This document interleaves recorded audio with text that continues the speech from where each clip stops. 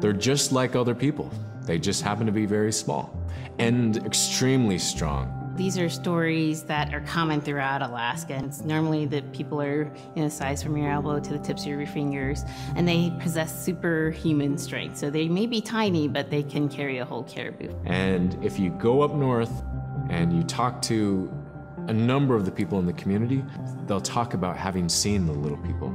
There's a place at home that we know, but we don't profess it to anybody.